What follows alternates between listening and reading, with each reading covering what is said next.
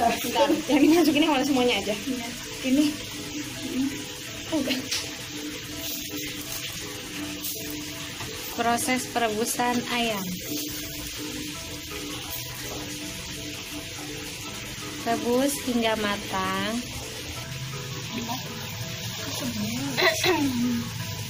Kenapa ya? Yang kecil-kecil. Hah? Yang buat orang. Oh iya. Nah, yang mana? Kan kayak sama jauh kurang. Eh kita makannya di mana di sekolah? Eh, lagi di video. Eh, atuh eh, lagi ngomong. atuh eh jangan atuh. Reaksi apa?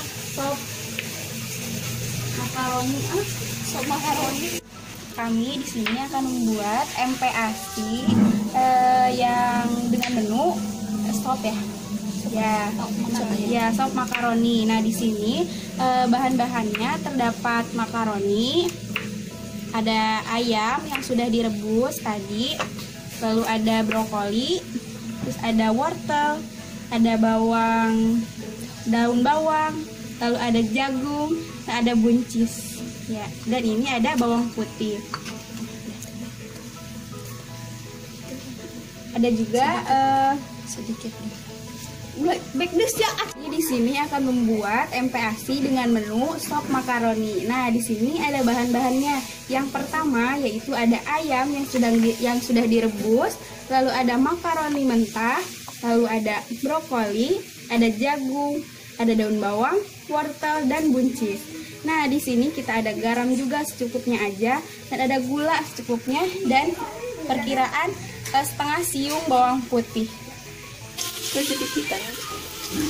Untuk selanjutnya eh, kita lakukan eh, perebusan pada makaroni.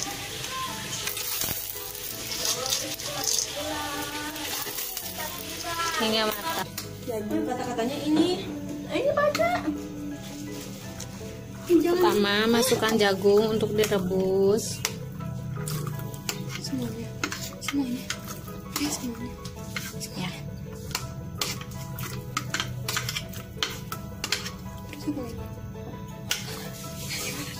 Bisa begitu aku.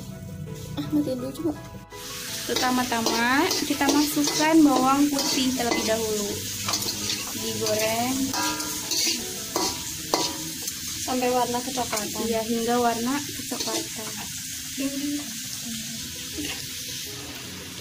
Setelah dimasukkan air, sekarang akan dimasukkan sayuran-sayurannya. Yang pertama yaitu brokoli, daun bawang, buncis, buncis,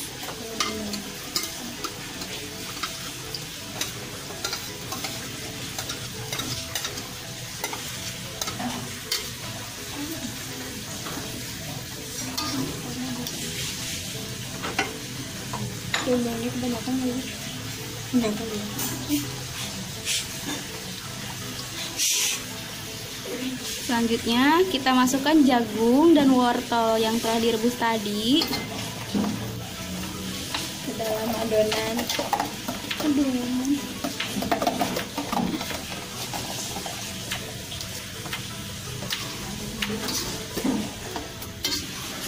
Ya, selanjutnya kita masukkan ayam yang sudah direbus yang sudah direbus tadi. atau bisa diganti juga dengan salmon.